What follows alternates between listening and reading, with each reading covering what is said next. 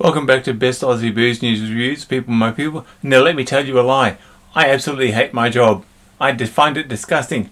And the gin that I'm about to review, I find completely revolting because it's just appeared there. Yep, off camera. And it's just disgusting. What is it? It's Hill Martin's Pinot Noir Gin.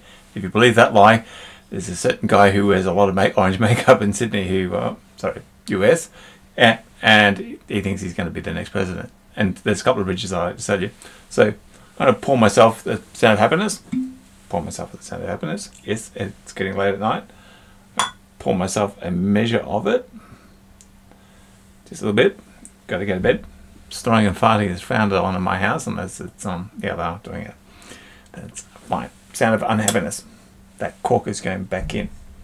This is the Pinot Noir gin that's there. You've been looking at it the entire time. Hill Martin. Gary and Amy. Look at this stuff. Now, I've been saying it all along.